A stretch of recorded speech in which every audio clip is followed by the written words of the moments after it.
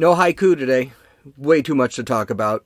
Let's talk a little bit about the Democratic National Convention, and then let's talk about mail in voting and the post office. This is Gene, and you're listening to Dumbasses Talking Politics. Hey, hey! This is Gene. Good morning. That's now Wednesday. We're gonna release this podcast a little earlier. Um, so let's let's get right into it. Let's not mess around. So I have only four words to describe the virtual Democratic National Convention. What a shit show. That will be the haiku of the day. It just absolutely terrible. It's been two days. Uh, I watch sporadically. I just really am annoyed by it. I didn't learn anything from it, and that's a tragedy. It was a tragedy because it was like eight hours long for t- two days so far. I'm not going to play any clips. I'm going to wait until Friday until the whole thing ends because there's just too much, there's just honestly too much crap.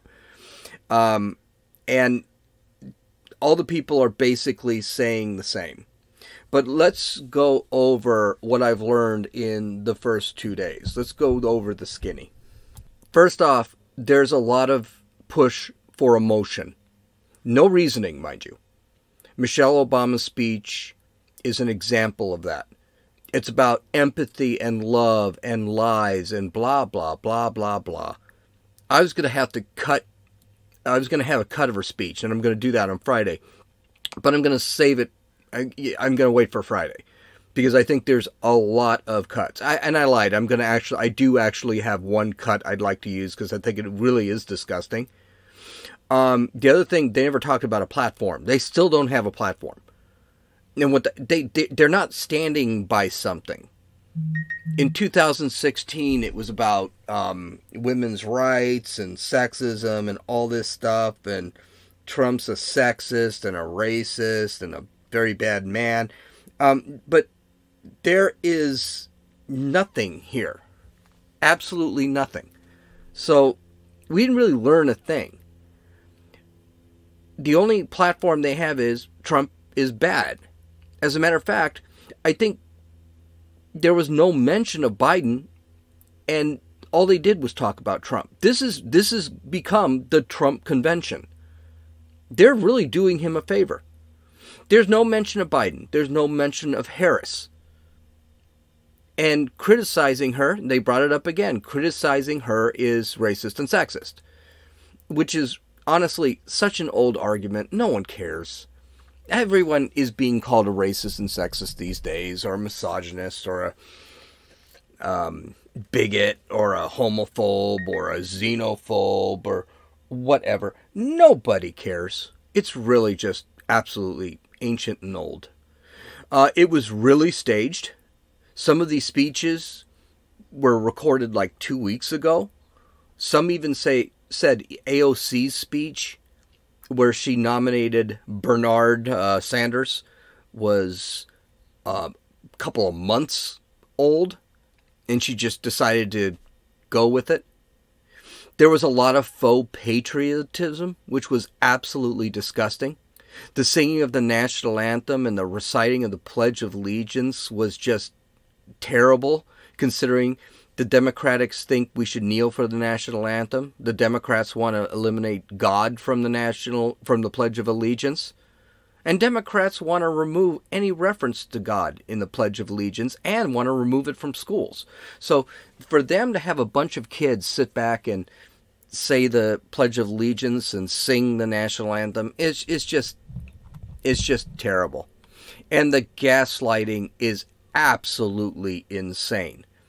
Two examples are Andrew Cuomo actually talking about COVID 19. Really?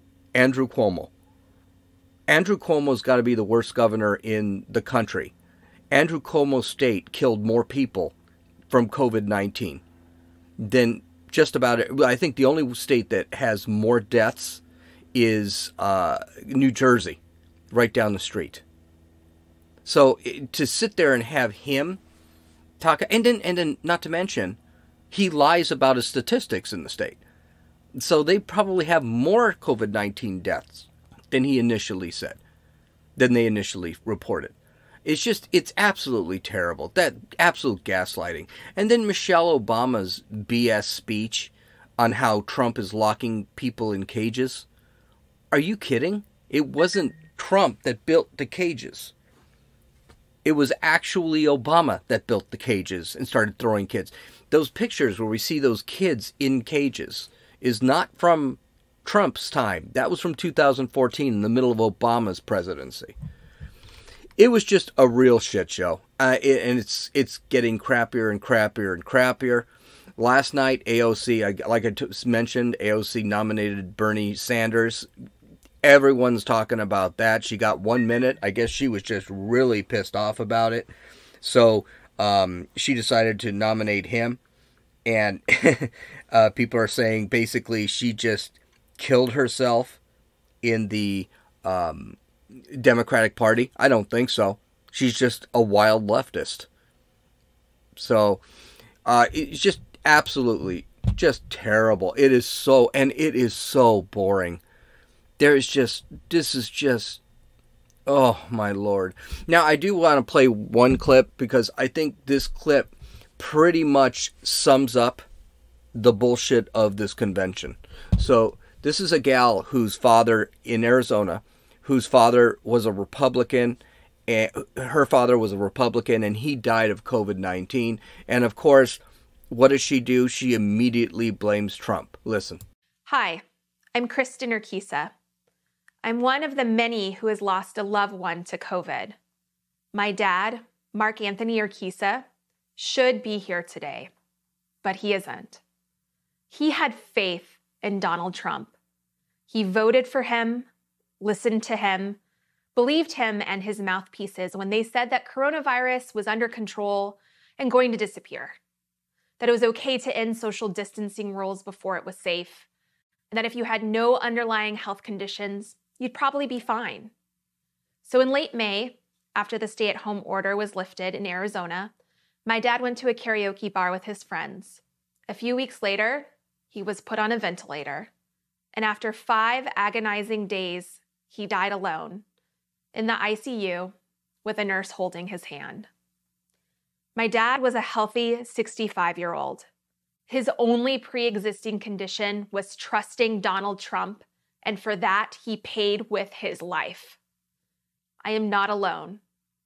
Once I told my story, a lot of people reached out to me to share theirs. They asked me to help them keep their communities safe, especially communities of color, which have been disproportionately affected. They asked me a normal person to help because Donald Trump won't. The coronavirus has made it clear that there are two Americas the America that Donald Trump lives in, and the America that my father died in. Enough is enough. Donald Trump may not have caused the coronavirus, but his dishonesty and his irresponsible actions made it so much worse. We need a leader who has a national, coordinated, data driven response to stop this pandemic from claiming more lives and to safely reopen the country. We need a leader who will step in on day one and do his job to care. One of the last things that my father said to me was that he felt betrayed by the likes of Donald Trump. And so when I cast my vote for Joe Biden, I will do it for my dad. I mean, that's pretty disgusting. I, I by the way, that gal got a minute longer than AOC got to to speak. Um, it's just disgusting. So her father was a Republican, and she believed he believed in Trump. He voted for Trump, and now he's dead. So Trump again, a murderer. There, again, no reason, no platforms. Orange man bad. That is the platform. Okay, so I it was it's, it's so far it's absolutely terrible. It is boring to watch. It is absolutely terrible to watch. Um, and the one thing I do believe is Republicans should be watching this and make sure they do not do this. They need, and I know they're going to have one. They're actually going to have a convention where people get together, maybe a third of the population will be there, a third of attendance will be there.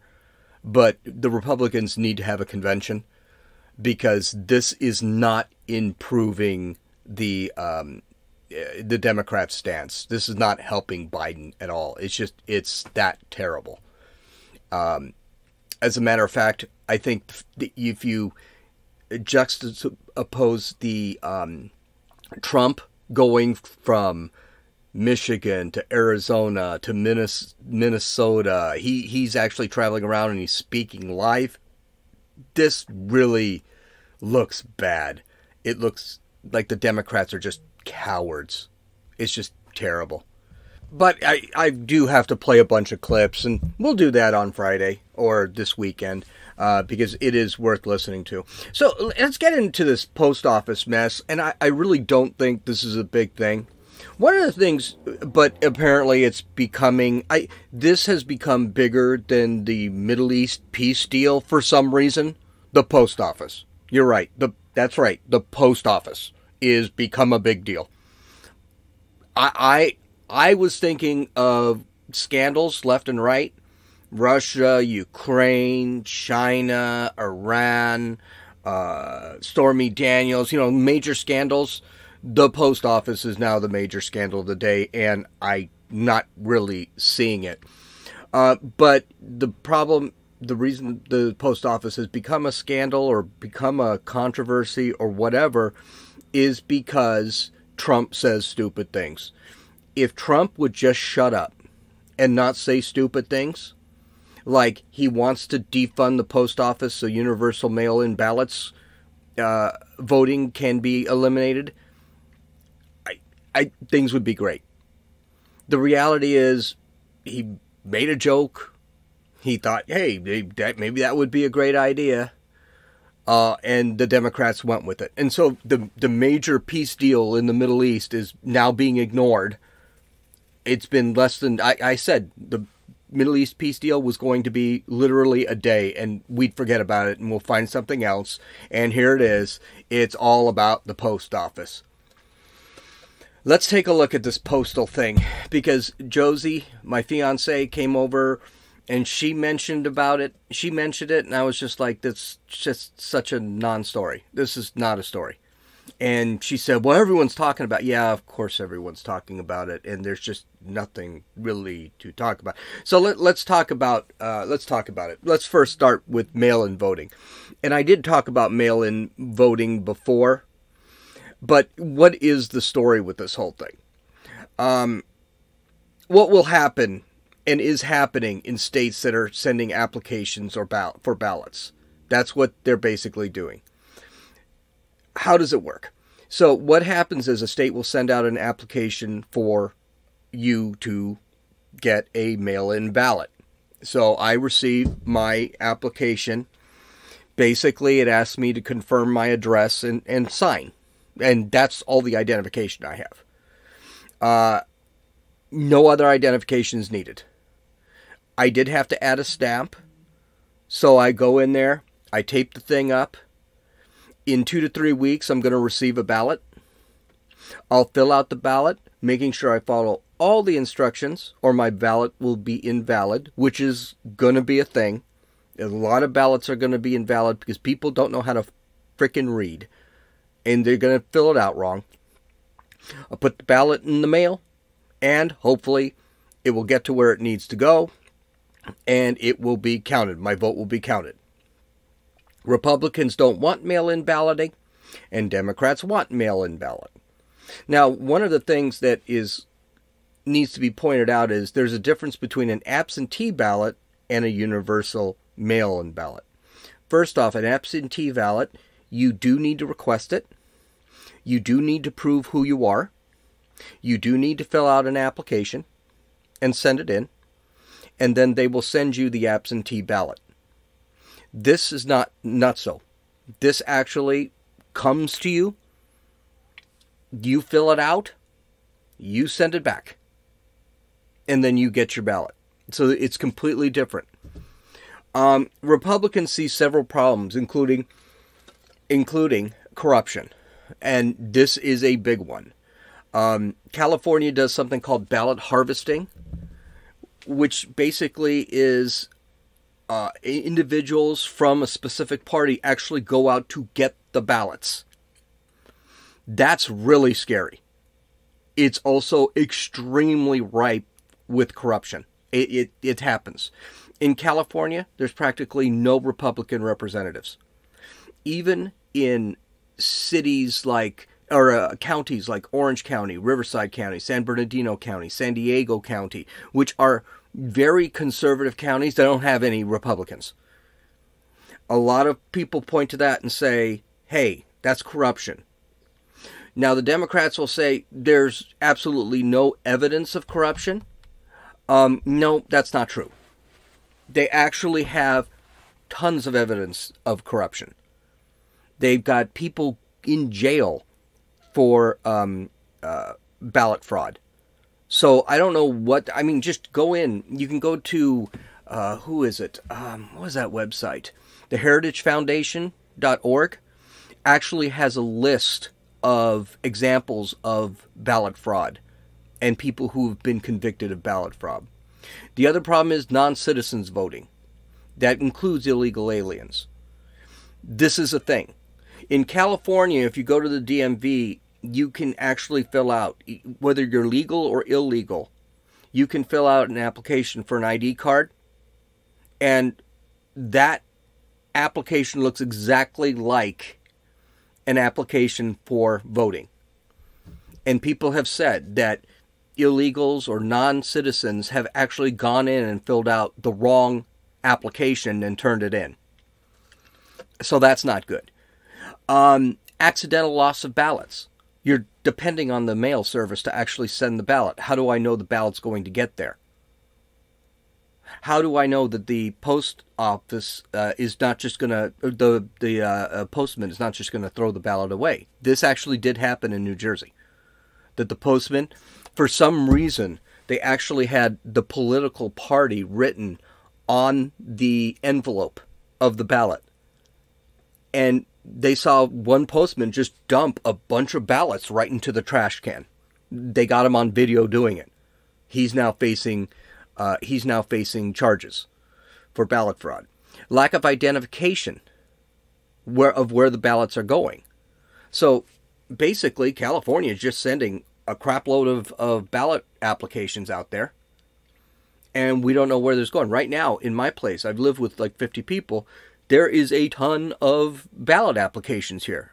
Technically, I could steal those ballot applications and start filling out names.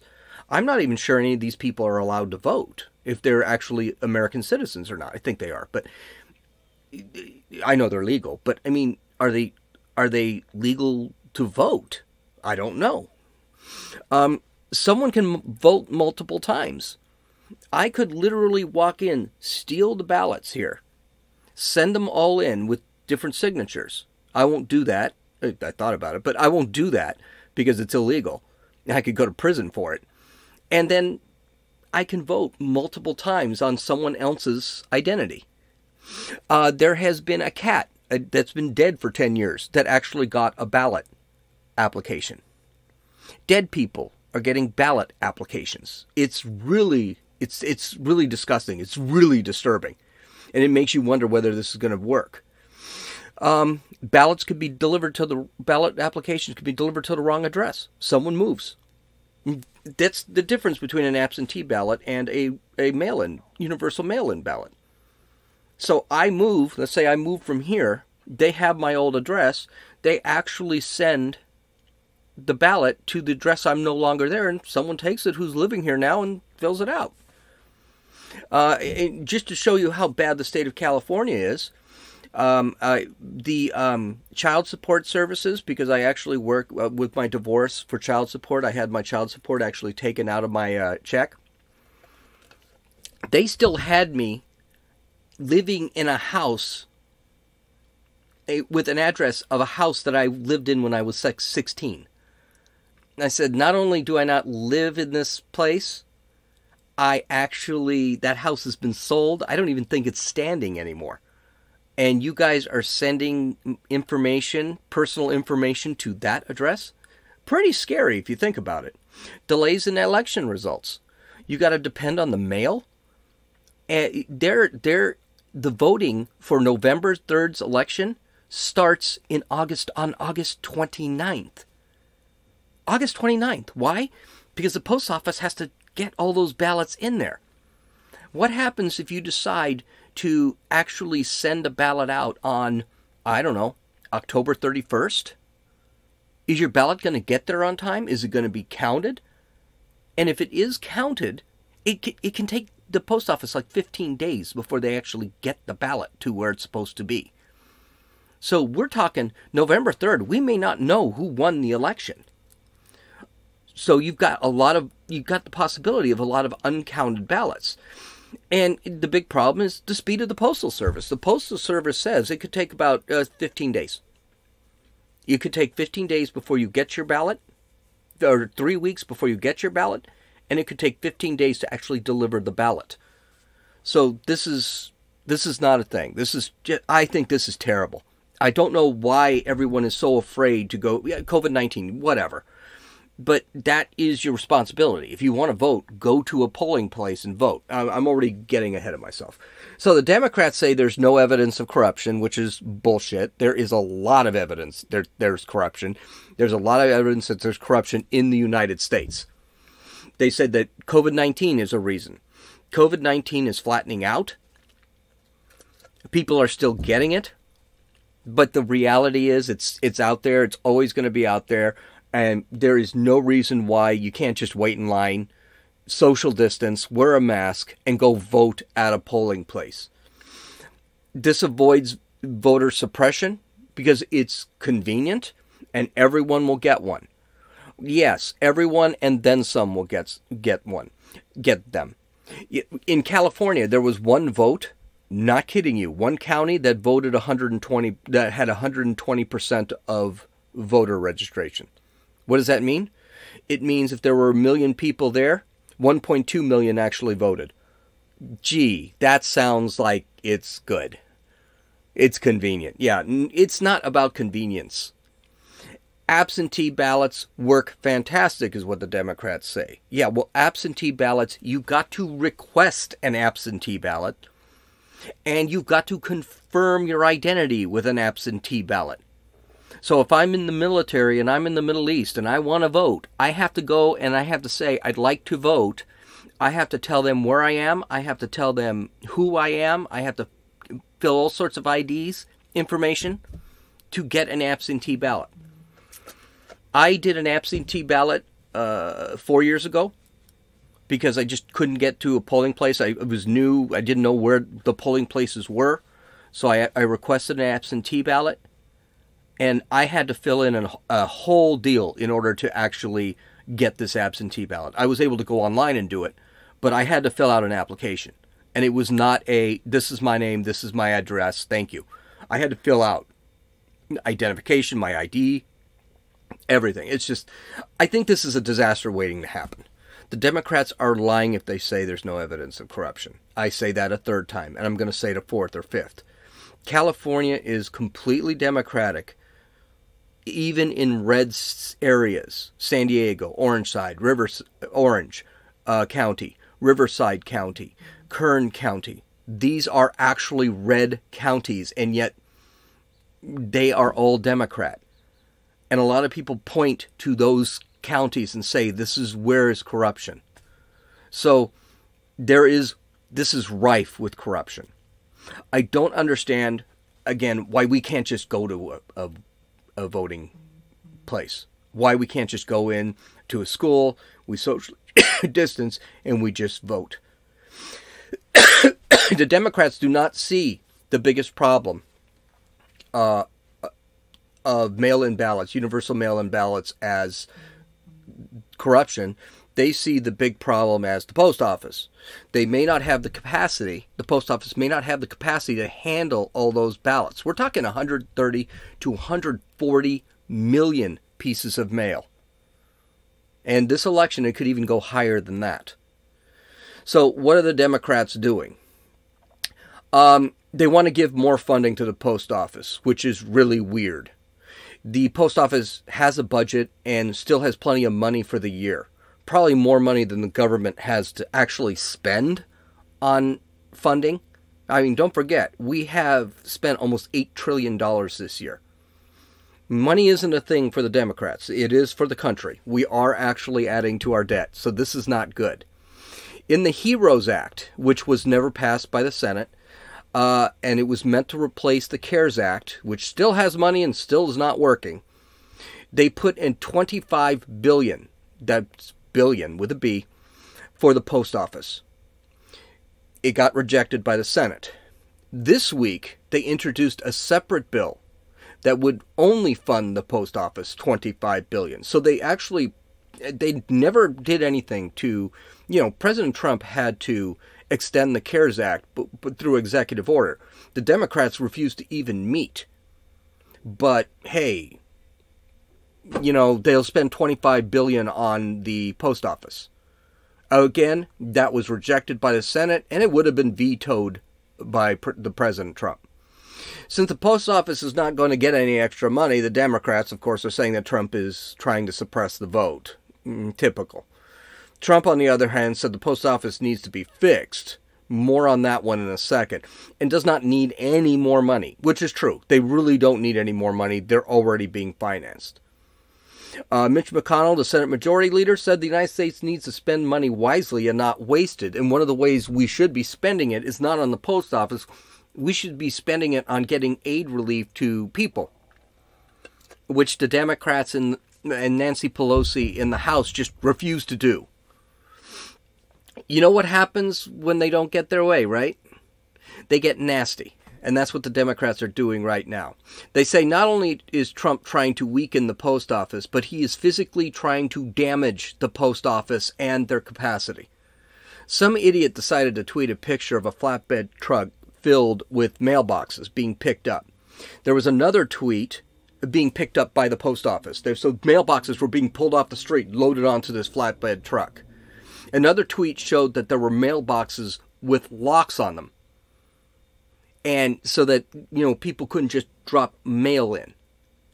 All this on Trump's orders to suppress the vote, say the Democrats. Okay, there were a couple problems with these observations. Trump didn't say this. The post office actually said there were problems with these observations. Uh, the postmaster general said that mailboxes are moved around according to use. So if they have a mailbox in the middle of, let's say, my street, that mailbox probably not getting used. So they pick them up and they move them someplace else, or they remove them. Mailboxes are removed and replaced when they get old and need maintenance. And he said, all this, this is normal stuff. This has been happening since 2009. This is nothing new. Locks are put on mailboxes and access is restricted to the people within a specific community.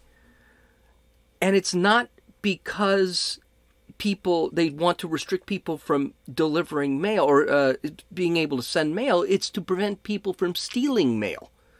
Only people in the community actually have keys and are able to put mail in that specific mailbox. I have one of those in my community I actually have to borrow a key to open the mailbox so I can uh, open the, the, the slot so I can put mail inside the mailbox.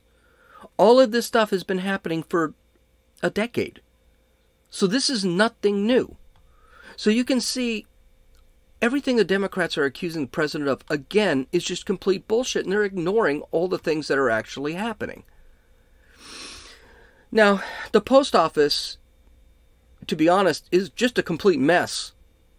The Democrats know it, the Republican know, Republicans know it, the president knows it, the Postmaster General knows it. The post office has lost $74 billion in the last 10 to 13 years. This is because of bad deals with the unions on retirement programs. They overpay for retirement. Um, mail takes an average of five days to get from point A to point B. Uh, we already know that the cost of postage is way too low and way too consistent. So, for example, it's the same price to send a, a, piece of mail from New York to Alaska as it is to send a mail from one house to the other on the same block. Um, that's not good. It's not good business. Uh, they believe that during the election, mail could be delayed by three weeks because of the speed of the post office. They're just not very quick. And they're actually recommending you send the ba- the ballot, you know, 3 weeks before the election so that you can your ballot will get in on time.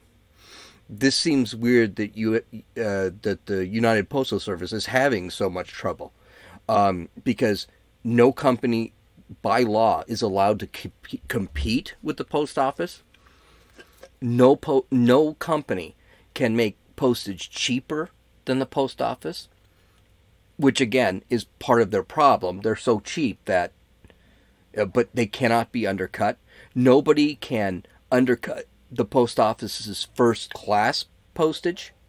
It's basically the USPS is a monopoly, but it's run so crappily, again, by the government, because the government sucks at everything, that uh, companies like FedEx um, and others can actually, will actually get more uh, deliveries because the post office is so bad. I can't remember the last time I got something I ordered from the post office. And I know that things that I've ordered, some things that I've ordered have come from the, the post office, the, the USPS, and it's taken ages to get it. So the postmaster has a plan to fix these things. He wanted to make it more efficient. He wanted to make it more competitive basically raised rates is essentially what's going to end up happening. Um, but this pissed off Democrats. Now, don't forget the Postmaster General is a Trump appointee. So, of course, if a company is losing 3 billion a year, the Democrats are going to get pissed off that he wants to actually fix the post office.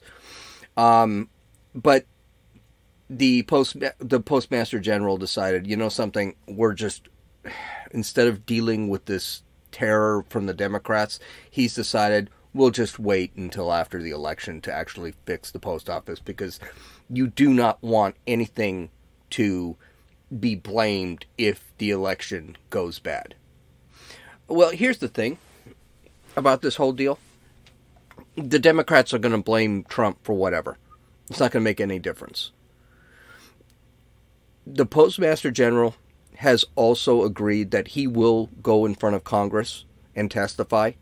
Not exactly sure what the point of that is, but it is a thing that that he's going to do. So he he is going to he's going to testify. He won't make any changes before the election. But when the election results come in and they end up screwed up, I can guarantee you one thing, he's still going to get blamed.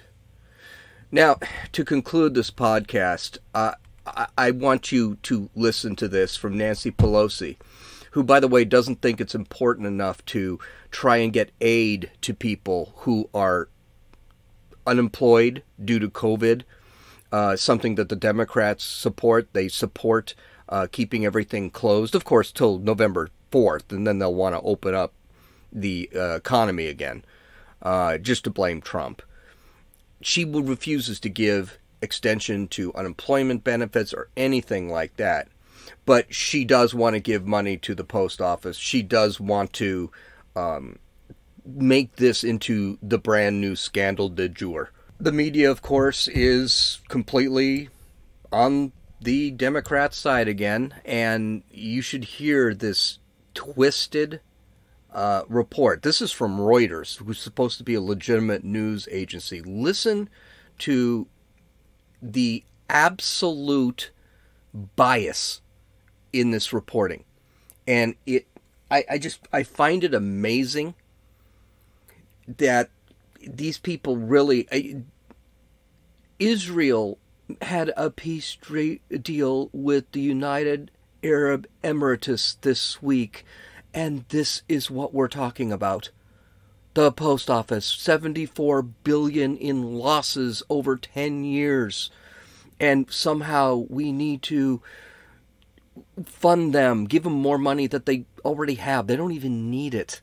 But i want you to listen to this report and listen to how biased and how oh it's just it's terrible House Speaker Nancy Pelosi said Sunday she's calling U.S. lawmakers back to Washington this week to protect the Postal Service ahead of an election where nearly half of all voters could cast ballots by mail. Democrats have accused President Donald Trump of trying to hamstring the cash strapped Postal Service to suppress mail in voting. And they are calling on Trump appointed Postal Service Chief Louis DeJoy to testify about a wave of cost cuts that have slowed mail delivery across the country. Critics are warning the cuts could disrupt the counting of ballots come November. But Trump defended DeJoy and his actions at a press conference on Saturday. He's a fantastic man. He wants to he wants to make the post office great again. You ever hear the expression? He wants to make the post office great again. The post office is a catastrophe.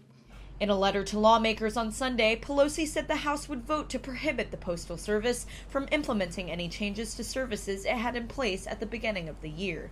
Beyond Congress, states like Virginia, Pennsylvania, Minnesota, North Carolina, and Washington are also weighing legal action to stop the Postal Service from making changes that could affect the election outcome.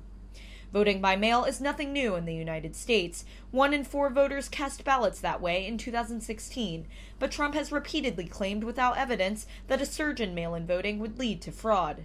A senior Democratic aide said House lawmakers would likely return on Saturday to vote on the Postal Service bill. I'm demanding that Leader McConnell go into regular session. U.S. Democratic Senate Minority Leader Chuck Schumer also called on Sunday for the Senate to reconvene. But a spokesman for Senate Majority Leader Mitch McConnell said there were no scheduling updates. DeJoy did not respond to a request for comment, but White House Chief of Staff Mark Meadows told CNN on Sunday that the administration feared a surge in mail in voting could delay election results and leave the naming of the new president to Pelosi, the Speaker of the House. What gaslighting in that report? Um, it's common in the United States? No, it's it is in the United States. It's not common in the United States. One in four cast ballots? No, those are absentee ballots. That has nothing to do with universal balloting. Trump claims there could be corruption with no evidence. No, there's plenty of evidence. I, just this whole thing is such a waste of fucking time. I am so tired of just the gaslighting, the misdirection of the Democrats and the fact the media just keeps playing into it.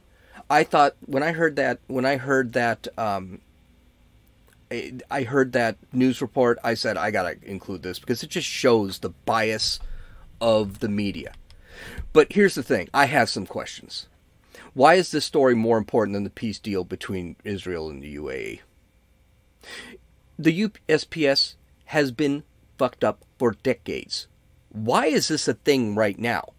And wasn't Nancy Pelosi in Congress?